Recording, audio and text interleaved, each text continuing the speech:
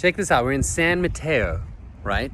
This house that we have open today, you can water ski right here. You can water ski. Isn't that cool? You can water ski right off your deck.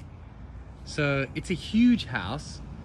It's uh, almost 3,000 square foot um, on a six 6,800 square foot lot.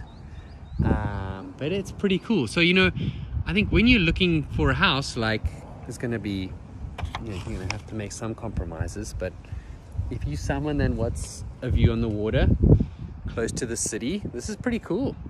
Most people are having a good time. You got your dogs over there. Yeah, you. Everyone loves the water here. So, yeah, okay. So this is a big house. It is what are we looking at price wise at the moment?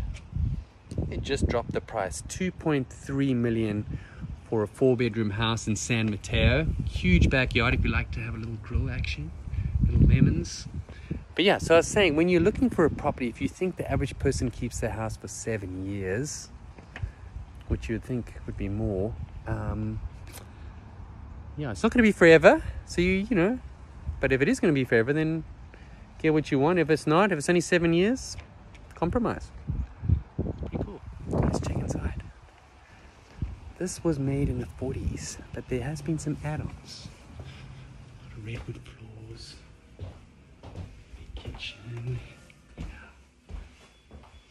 Awesome gas stove. Oh. Yeah. It's a big house. It's a big house. Take my sunglasses off. Um, and it's even got the top level. So you can see back in the day, uh, of, some of those trimmings, but there has been some renovations done. You come and wake up, look outside on the water, chill in your favorite chair.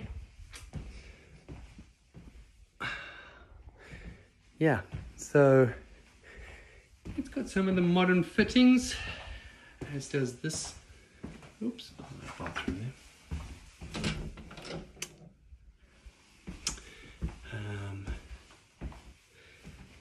Nice walk-in shower.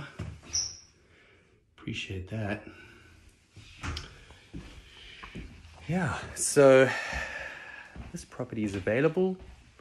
Um, if you're interested in living on the water, close to the city, close to Silicon Valley, give me a call.